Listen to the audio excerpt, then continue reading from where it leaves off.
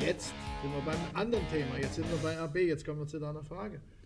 RB Leipzig, äh, und das weiß wahrscheinlich noch gar keiner hier in dem Sachsenland, hat das große Glück gehabt, die Herrschaften aus Fuschel am See, dass sie sich ein Gesetz angeguckt haben, was da war, und sagte, ach guck mal, das ist aber schön, hier ist eine schöne Lücke drin.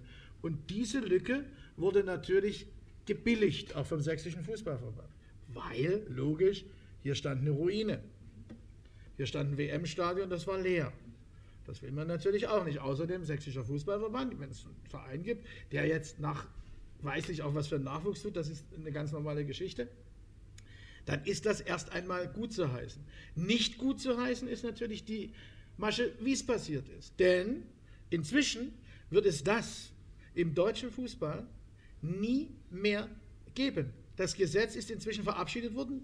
Ich könnte mir vorstellen. Auch immer welch, was? Ja, ich komme ja gleich dazu. Ich kann mir vorstellen, so äh, beim, beim Halbfinale Deutschland-Brasilien, da werden ja immer die besten Gesetze gemacht. Ne? Mhm. Das Gesetz ist verabschiedet worden, dass nie wieder ein anderer Verein von einem zweiten das Spielrecht übernehmen bzw. erkaufen kann.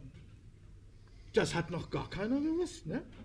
Mhm. Das Gesetz ist inzwischen draußen. Die letzten, die es gemacht haben, war der SVC in der Landesliga mit dem FC, mit FC International. Ich wollte es gerade sagen. Ja. wieder in Leipzig. Mhm. Und das äh, vorletzte war RB. RB Leipzig. So, ja. Und das wird es nie wieder geben im deutschen Fußball.